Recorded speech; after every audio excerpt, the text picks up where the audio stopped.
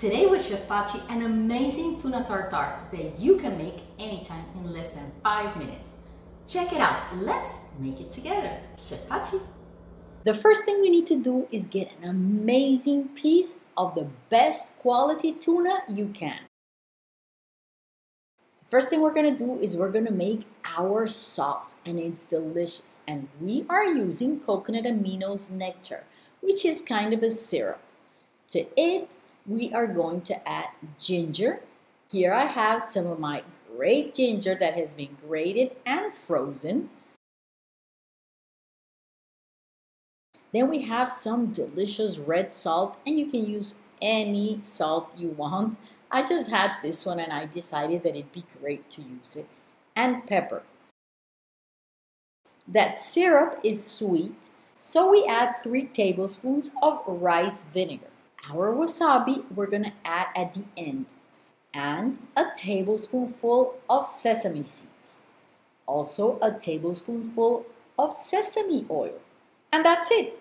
Our delicious mix. Look at it. Beautiful, creamy and thick. The first thing we need to do is get an amazing piece of the best quality tuna you can.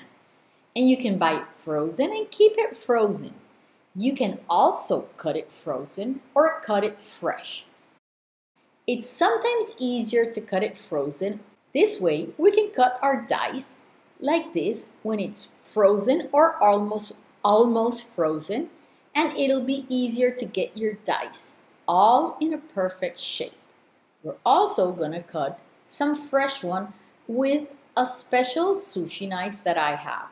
Serve this semi-frozen tuna slices. All we have to do is add some of that delicious mix and place your tuna on top. Refrigerate it and then serve it when your guests are ready to eat. It will be defrosted on its own in the refrigerator to keep the best quality. Now, I'm going to show you how to cut pieces with a sushi knife. Sushi knives usually come for right-handed people, but there, this one, since I'm lefty, is a universal one. And it cuts our fresh tuna like butter. I love it. And since I live in the Pacific Ocean and I get fresh tuna when we go fishing, it's easy to cut it like this. Do whatever is easiest for you. Cut it fresh, cut it frozen, and create your amazing tuna tartare in minutes. Once you have the sauce, dice your tuna, add a little bit of pepper and sesame oil to your tuna. This is to help it keep its shape and its color. A little bit of sesame seeds and we're ready to store it until everyone is ready because remember this one was fresh. So we have made our tuna tartare with fresh tuna and with frozen tuna. Now all you have to do is serve it in a beautiful dish and add the sauce on the side. I'm serving just a dot of wasabi on top. And that's it. Check it out. A beautiful meal in less than five minutes. And this sesame sauce is amazing. You can serve it with chicken kebabs, tofu, edamame. It's beautiful and delicious. Chef Pachi, delicious food, amazing mood. Enjoy! Check out the ingredient list.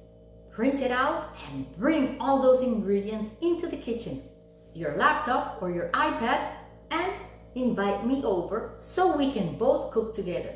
The video and you and we'll make an amazing recipe. Chef Pachi, delicious food, amazing mood.